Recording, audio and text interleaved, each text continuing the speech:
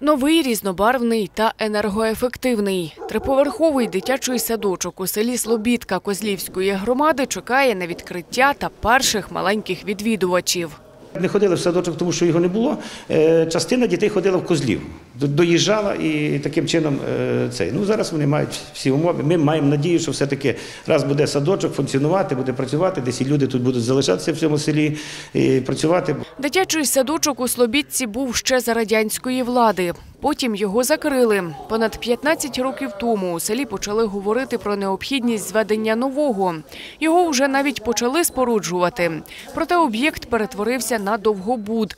Люди вже втратили надію. Проте дитячий садочок у Слобідці таки добудували у рамках програми Велике будівництво. В підвальному приміщенні є харчоблок, де знаходяться і пральні е, машинки стоять, де можна було е, це попрати постіль і так далі. Значить, е, другий поверх розрахований на групу дітей, де є зал, де є ліжка вже закуплені на сьогоднішній день.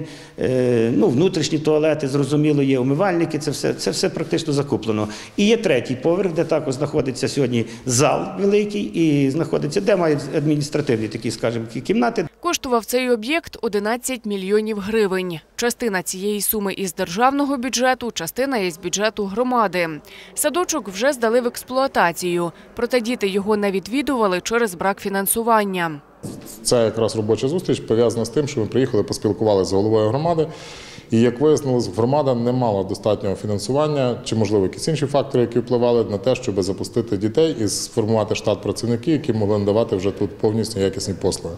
Е, Проте після спілкування і огляду цього об'єкту в- було прийнято рішення, і голова, голова громади запевнилась про те, що до кінця квітня, а не до кінця вересня, як вони планували, будуть вже запущений цей об'єкт повністю в роботу. Садочок розрахований на 25 місць. Із травня працюватиме змішана група. Проте тут сподіваються здобути ліцензію і відкрити ще й ясельну.